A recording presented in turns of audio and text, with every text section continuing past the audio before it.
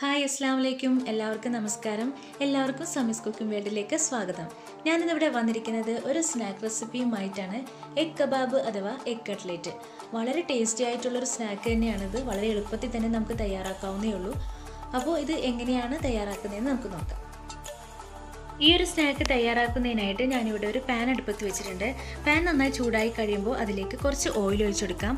Oil ചൂടായി കഴിയുമ്പോൾ അതിലേക്ക് രണ്ട് ചെറിയ സവാള ചെറുതായിട്ട് അരിഞ്ഞതൊന്ന് ചേർത്ത് നന്നായിട്ടൊന്ന് വഴറ്റിയെടുക്കാം.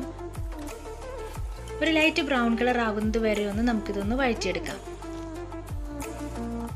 അങ്ങനെ സവാള ഇവിടെ നന്നായി വഴന്നു വന്നിട്ടുണ്ട്. ഒരു ലൈറ്റ് ബ്രൗൺ കളർ ആയിട്ടുണ്ട്.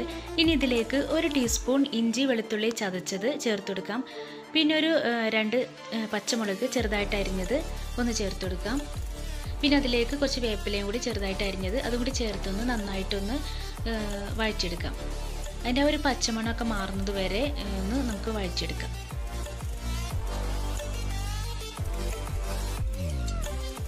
അങ്ങനെ എല്ലാം നന്നായിട്ട് വഴന്നു വന്നിട്ടുണ്ട്. ഇനി നമുക്ക് പൊടികളെല്ലാം ചേർത്ത് കൊടുക്കാം.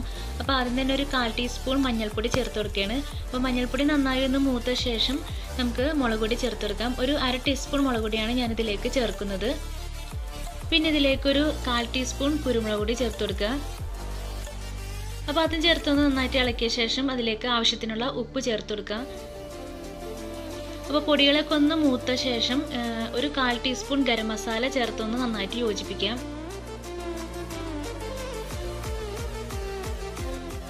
അങ്ങനെ ഗരം മസാലയും ചേർത്ത് യോജിപ്പിച്ച ശേഷം ഇനി വേണ്ടത് നാല് മീഡിയം ഉരുളക്കിഴങ്ങ് വേവിച്ചതാണ്. അത് മുഴുവനോടെ തന്നെ വേവിച്ചെടുത്തതാണ്. തൊലിയൊക്കെ കളഞ്ഞ് കൈകൊണ്ട് ഉടച്ചെടുത്തിട്ടുണ്ട് അപ്പോൾ ഇതും ചേർത്തൊന്ന് നന്നായിട്ടൊന്ന് ഇളക്കി യോജിപ്പിക്കുക.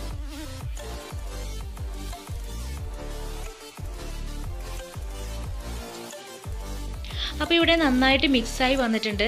ഇനി നമുക്ക് ഫ്ലെയിം ഓഫ് ചെയ്യാം. ഇതൊന്ന് ചൂടാറുന്നത് വരെ ഒന്ന് വെയിറ്റ് ചെയ്യാം. പൊട്ടറ്റോ മിക്സ് ഇവിടെ ചൂടാറി കിട്ടിയിട്ടുണ്ട്. ഇനി ഇതിലേക്കൊരു കാൽ കപ്പ് ബ്രെഡ് ക്രംസും കൂടി ഞാൻ ചേർത്ത് കൊടുക്കുന്നുണ്ട്. അതും കൂടി ചേർത്തൊന്ന് നന്നായിട്ടൊന്ന് മിക്സ് ചെയ്തെടുക്കാം.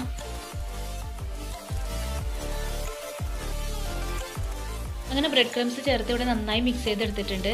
ഇനി ഇതിലേക്കൊരു രണ്ട് മുട്ട പുഴുങ്ങിയത് എടുക്കണം ഓരോ മുട്ടയും ഒരു നാല് പീസാക്കി ഞാൻ മുറിച്ചിട്ടുണ്ട്. ഇനി ഇത് ഈ ഒരു കൂട്ടിൽ നിന്ന് ഓരോ ഉരുളകളാക്കി എടുത്ത ശേഷം നമുക്ക് കൈവെള്ളയിൽ വെച്ചിട്ടൊന്ന് പരത്തിയെടുക്കണം. ആ ഒരു പരത്തിയിലേക്ക് ഓരോ മുട്ടയുടെ പീസും വെച്ചിട്ട് നമുക്കൊന്ന് റോൾ ചെയ്തെടുക്കണം.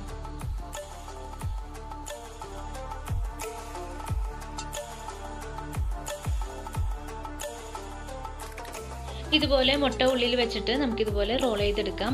അപ്പോൾ കൈവെള്ളയിൽ ഒരു ഇത്തിരി വെള്ളം തടവിയിട്ട് ഒന്ന് ഉരുട്ടിയെടുക്കുകയാണെന്നുണ്ടെങ്കിൽ നമുക്ക് കറക്റ്റ് ആ ഒരു ഷേപ്പിൽ കിട്ടും. അപ്പോൾ ഈ ഒരു കബാബിന്റെ ഷേപ്പിൽ നമുക്ക് എല്ലാം ഇതുപോലെ ഒന്ന് ചെയ്തെടുക്കാം.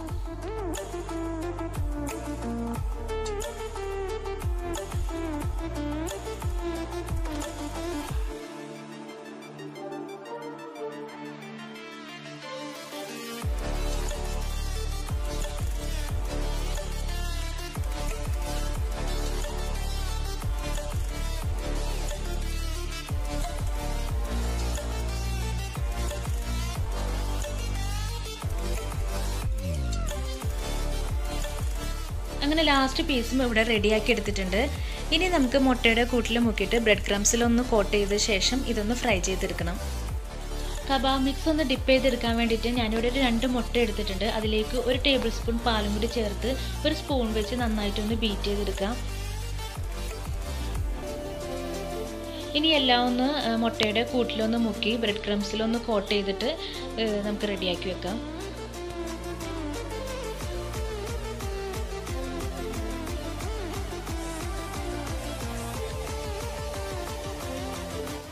അങ്ങനെ കബാബ്സ് എല്ലാം ഫ്രൈ ചെയ്യാനുള്ള പാകത്തിന് എല്ലാം റെഡിയാക്കി എടുത്തിട്ടുണ്ട്. ഇനി നമുക്ക് ഇത് ഓയിൽ ഫ്രൈ ചെയ്തെടുക്കാം. അതിനുവേണ്ടി ഞാനൊരു ചട്ടി എടുത്തിട്ടുണ്ട്. ചട്ടി നന്നായിട്ട് ചൂടായി കഴിയുമ്പോൾ ഓയിൽ ഒഴിച്ചെടുക്കാം. ഓയിൽ നന്നായിട്ട് ചൂടായി കഴിയുമ്പോൾ അതിലേക്ക് ഓരോ കബാബ്സ് ആയിട്ട് ഇട്ട് കൊടുത്ത് ഫ്രൈ ചെയ്തെടുക്കാം. അപ്പോൾ ആദ്യം തന്നെ ഹൈ ഫ്ലെയിമിൽ ഇട്ടിട്ട് വേണം ഇത് ഫ്രൈ ചെയ്ത് തുടങ്ങാനായിട്ട്. പിന്നെ അതൊന്ന് മീഡിയം ഫ്ലെയിമിലോട്ടാക്കി കൊടുക്കണം. ഒരു സൈഡ് നന്നായി മൊരിഞ്ഞു കഴിഞ്ഞാൽ തിരിച്ചിട്ട് കൊടുക്കാം. ഇതിന്റെ കൂട്ടൊക്കെ നമ്മൾ നേരത്തെ തന്നെ നന്നായി വേവിച്ചിട്ടുള്ളതുകൊണ്ട് പിന്നെ അധികം വേവാനൊന്നും നിൽക്കണ്ട മൊരിഞ്ഞു കഴിഞ്ഞാൽ നമുക്ക് ഓയിലിൽ നിന്ന് മാറ്റാം.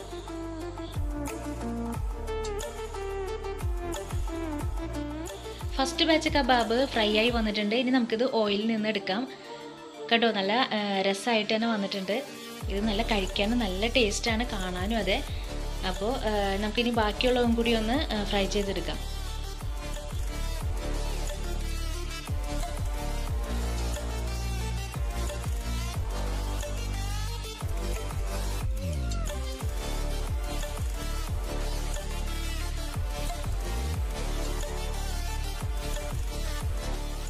അങ്ങനെ ഇവിടെ വളരെ ടേസ്റ്റി ആയിട്ടുള്ള എഗ് കബാബ്സ് എല്ലാം റെഡിയാക്കി എടുത്തിട്ടുണ്ട്. അപ്പോൾ ഇതെല്ലാവരും വീട്ടിൽ ട്രൈ ചെയ്ത് നോക്കണം. വളരെ എളുപ്പമാണ് ഉണ്ടാക്കാനായിട്ട്.